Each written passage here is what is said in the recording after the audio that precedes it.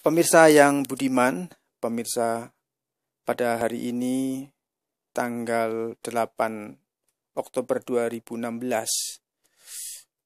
uh, di Hong Kong menunjukkan, menunjukkan jam 9.24 malam. Saya melihat memantau keadaan di Indonesia khususnya di Jakarta.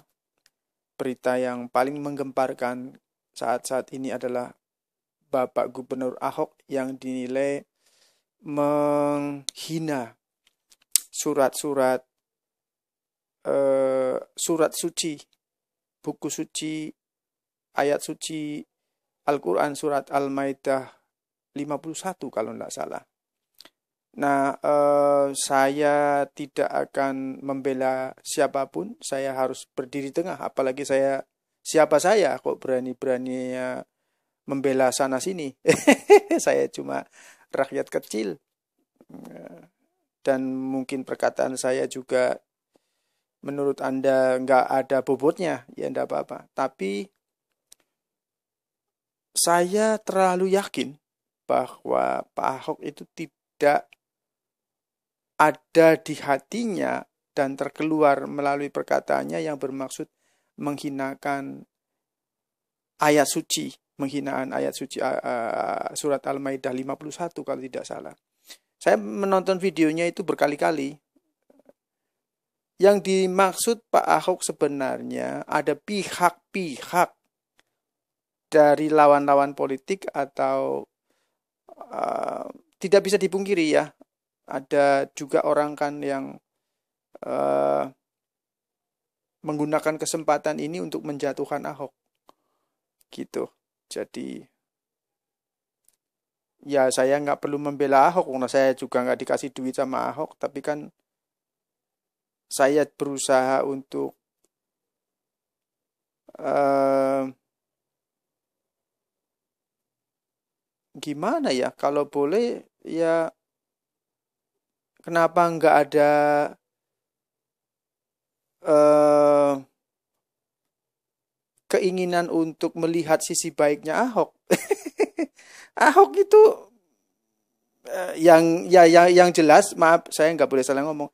Saya lihat sekali banyak sekali teman-teman Ahok itu justru orang-orang Muslim dan yang mendukung Ahok justru orang-orang Muslim. Jadi bagaimana mungkin Ahok akan menghina buku pegangan orang Muslim? Tidak mungkin. Saya sejak kecil istru itu justru lebih dekat. Ya terus terang aja, saya sangat dekat dengan orang-orang Islam, sangat dekat sekali dan tentunya dengan orang-orang Islam yang jujur, yang benar-benar uh, menghormati juga kepercayaan iman agama saya sebagai seorang Kristen. Uh, waktu saya kerja di Bank BCA, saya punya teman orang Sunda dia taat beribadah, dia sangat soleh, istrinya sangat soleha, saya tidak bisa sebutkan namanya. Uh, kami punya hubungan ke, layaknya keluarga dalam arti suaminya sangat baik dengan saya, sangat dekat dengan saya. Uh, dia uh, dari Bandung, saya nggak bisa sebutkan lebih rinci. Jadi uh, saya sejak kecil itu dekat dengan orang Islam tentu sekali lagi dengan orang Islam yang yang yang yang menghormati uh, perbedaan.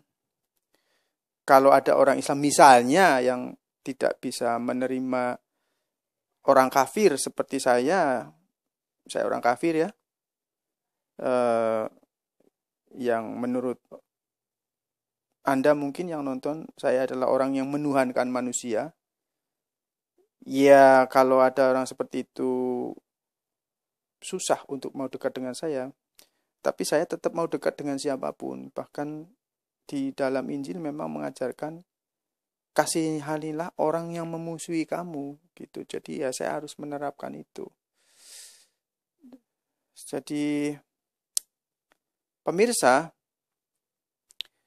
saya yakin sekali tidak mungkinlah Ahok itu mau menghina dengan mengatakan dibodohi oleh ayat suci surat Al-Maidah 51, Ahok itu tidak bermaksud seperti itu, saya yakin. Dan kita melihat saja perkembangan di Jakarta tidak hanya kesejahteraan rakyat tetapi juga tempat-tempat ibadah masjid walaupun dibongkar itu kan bukan dibongkar dipugar untuk dijadikan lebih baik lebih indah jadi bagaimana mungkin Ahok mau menghina lah kalau justru teman-temannya saja yang dekat itu orang-orang yang taat beribadah sebagai orang muslim, orang Islam. Saya melihat bagaimana di YouTube ya, eh, Pak Ustadz eh, eh, yang paling saya sukai, saya nonton itu Pak Ustadz A.A. Jim. Kalau boleh jujur ya saya paling suka A.A. Jim. Ada banyak ustadz-ustadz tapi saya paling suka Pak Ustadz A.A. Jim sebagai, sebagai orang Kristen. Ya saya berharap Pak Acim eh, bisa menelaah lebih tak dalam lagi. Saya yakin Pak Ahok tidak bermaksud menghinakan buku pegangan orang Islam. Juga saya melihat baru saja Felix Xiao, juga Pak Ustadz Felix Xiao ya, juga menilai sedemikian eh, bahwa Pak Ahok itu menghina. Ini kan sudah mendekati pemilihan gubernur, jadi tentu ada pihak-pihak yang berusaha untuk menjatuhkan Ahok supaya tidak terpilih lagi. Ya, saya berdoa agar Tuhan memunculkan banyak lagi para pemimpin-pemimpin agama Islam yang mau merangkul orang-orang kafir. Kalau memang Ahok itu orang kafir, orang tersesat dan anda-anda yang nonton ini tahu bahwa orang-orang kafir itu tersesat, lebih baik dijadikan teman, bukan dihina, bukan digoblokin, bukan di uh, caci maki, dijadikan teman, diberitakan kebenaran, beritakan keselamatan. Kalau menurut Anda yang paling selamat adalah apa yang Anda pegang, itu menurut saya. Eh, saya juga seperti itu. Eh, saya ini sejak kuliah itu aktif. Aktif untuk merangkul, tentunya merangkul orang yang agama apa saja. Agama Islam, agama Hindu, agama Buddha, apa saja yang sudah tidak beribadah lagi, yang hidupnya rusak, saya rangkul, bukan saya jauhi orang lesbian, orang homoseks, orang narkoba, orang itu orang-orang seperti itu yang perlu kita deketin. Dan apa? Coba ya saya minta maaf. Ini yang nonton video saya ini orang-orang cerdas, orang-orang eh, cendekiawan, orang mungkin pejabat tinggi bisa saja. Sedangkan saya hanya rakyat kecil sementara ini. Yang butuh diobati itu kan orang sakit. Nah kalau orang-orang kafir itu menurut Anda, kafir itu sesat, ya jadikanlah kami sebagai orang sakit menurut Anda, dirangkul diobati. Nah yang perlu tabib itu kan orang sakit. Yang perlu dokter itu kan orang sakit. Nah kalau orang sehat kan nggak perlu. Nah karena itu ya diobati orang sakit bukannya terus kemudian orang sakit diabaikan dijauhi tidak diurus nanti orang sakit itu ya akan terbengkelai gitu sekali lagi orang sakit yang perlu tabib atau dokter orang sehat nggak perlu jadi kalau menurut anda orang-orang kafir di seluruh dunia ini orang-orang Kristen adalah orang-orang yang tersesat dan Anda adalah ada yang di dalam uh, jalan yang lurus ya lebih baik menurut saya bukan terus digoblokin, bukan terus uh, uh, apa namanya dijauhi.